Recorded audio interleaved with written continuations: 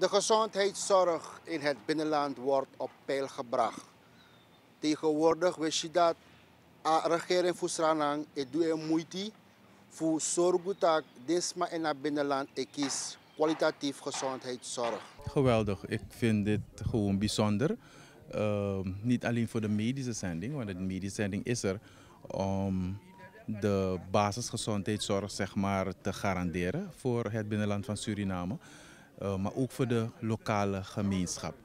Uh, omdat we weten dat uh, Lawatabiki een hop is. Het is een gebied waar, het is een, een plek waar veel mensen komen en gaan. En het is, we hebben deze poli opgezet om een vangnet te zijn voor, voor dit gebied.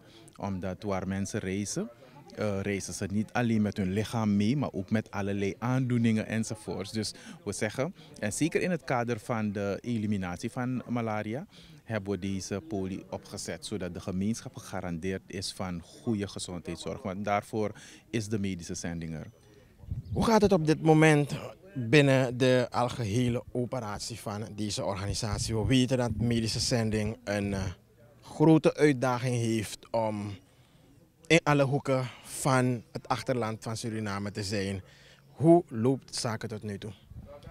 Nou, dus ik kan uh, dit ervan zeggen dat de medische zending, uh, zoals altijd, uh, niet alleen opereert.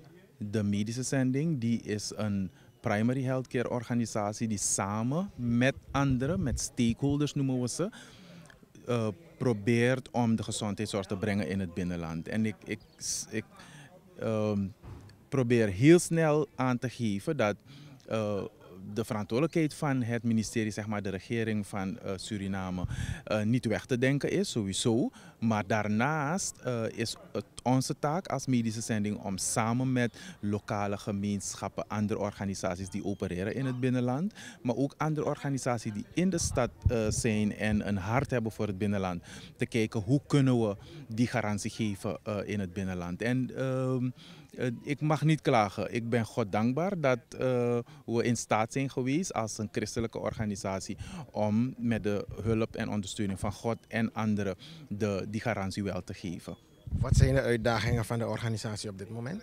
Uh, grote uitdaging. Daar waar, uh, uitdagingen waar, daar waar er sprake is van gezondheid van mensen. Onze grootste uitdaging is niet het um, uh, behandelen van ziekten die zich voordoen in het binnenland, maar het voorkomen dat mensen ziek worden. En uh, het, is, het is eigenlijk een blote kavel, hè? als we daarover praten. Omdat je in principe niet weet wat mensen kunnen krijgen uh, als het gaat om hun gezondheid. Maar je anticipeert dus op een aantal factoren. En je probeert dus de mensen ervan te, uh, uh, bewust te maken van luister, je gezondheid is jouw verantwoordelijkheid. Ik denk dat daar voor dit moment de grootste uitdaging is om de mensen in het binnenland te, te laten beseffen dat hun gezondheid in hun eigen handen zit. Um, de medische zending die is er altijd geweest. Dus de mensen denken van, ah, medische zending dit en ik kan kiezen mijn gezondheid enzovoort. Nee, je kan kiezen gezondheid. Medische zending is er om één, wanneer je ziek bent, uh, je te behandelen. En twee, om te voorkomen dat je ziek wordt. En dan moet je wel de verantwoordelijkheid hebben over jezelf om gebruik te maken van de diensten van medische zending. Dus onze grootste uitdaging die zit in het bewust maken van de mensen in het binnenland. En we maken wel stappen vooruit. Um, in dit gebied betekent het heel veel, maar ook voor heel Suriname. En dat zeg ik niet zomaar. Ik zeg dat omdat uh, hier nog af en toe malaria voorkomt. En u begrijpt, malaria kan overgebracht worden zo met een vliegtuig naar Paramaribo.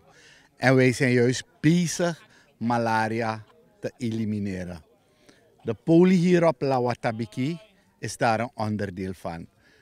Er is nooit eerder hier een poli geweest, dus in het groot project dat we hadden is dit volledig gefinancierd door Volksgezondheid. Maar het maakt deel uit van een groter malaria-project dat een paar miljoenen kost. En een van de zaken die volksgezondheid in orde moest maken was het opzetten van deze poli. Dus de volledige financiering is geweest in uh, is geweest door uh, volksgezondheid. Ik heb mijn collega hoofdraad van uh, Financiën zover kunnen krijgen. En natuurlijk, er is ook medewerking geweest van de lokale bevolking. De militairen hebben een oogje in het zeil gehouden en zullen dit ook voor ons bewaken. Want net als de directeur van de medische zending zegt, en dat vind ik fantastisch dat hij dat in zijn speech heeft gezegd. Hij wil bijna op blote voeten de poli binnenstappen. Zo mooi, zo schoon ziet het eruit. Laten wij de mensen van Lawatabiki en omgeving die hier vaker gebruik van gaan maken. Want hier is echt zo'n een hub voor het binnenland. Zeker voor de goudzoekers. Waar je Brazilianen hebt, Chinese, Fransen. Ook Surinamers die hier goud zoeken, binnenlandbewoners, stedelingen. Dat zij dit echt als hun eigen huis gaan zien. Want een gebouw opzetten is very easy.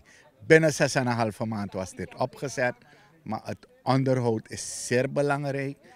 Ik heb uh, dus het gewaardeerd dat de directeur van de medische zending belooft dat dit netjes gaat worden gehouden, maar dat hij ook een beroep doet op de gebruikers en de mensen hier, uh, het dorpsgezag, dat zij daarop toezien, want het is voor hun. Papa mi fi en boom. Mi bireiti fu fa poli koya. Moike agantangi mugi adele kashi foto di koya. De ye pi wi. Bikaden shiki di bede ya dan adede soso de we dede. Tefi igwe akotika igwa ma ipasu lada isu hakika ba. Ubreiti. Moike na dem folukumi e begi. pudenta holien tampu gimi. Anga den su dati dide aike wai a de adewe begi pu ye piwi mi bere changa dati eh de mi begi den sama tu taki me den holi tanga. Na poli no hopo pu konkwali pu konkocha checha ma hopo pu wisevi pu gika kichima kandi. Ntakia bum awabum sani awani gan ye pi Ja, men vinden het ook vallig mooi hè, want uh, zo belangrijk ba, als aan die de gaande, maar nu, een feit. Da estrada. De straat.